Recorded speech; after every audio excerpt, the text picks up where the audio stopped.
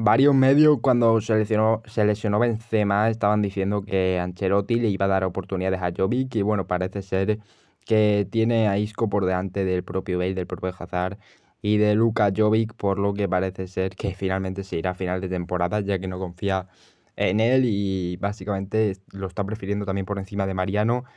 eh, Bale, Hazard y Jovic, que parecía que iba a ser el titular ahora que se había lesionado Benzema, pero ni con estas y Jovic la verdad es que las veces que ha jugado lo ha hecho